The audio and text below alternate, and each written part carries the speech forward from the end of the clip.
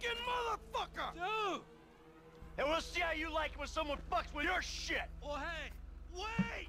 You got the wrong idea, pal! Whoa! Fuck! Here we go!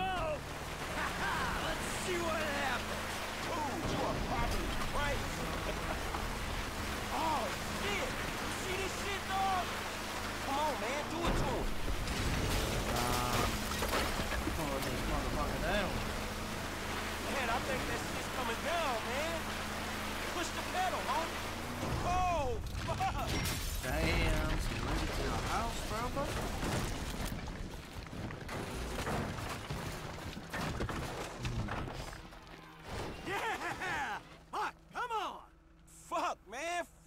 Jeez. Oh, we did it! Fuck his ass! Yeah, fuck him.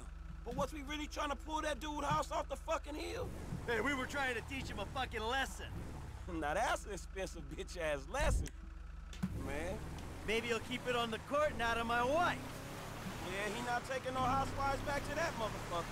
Hey, it's a service to the fucking community.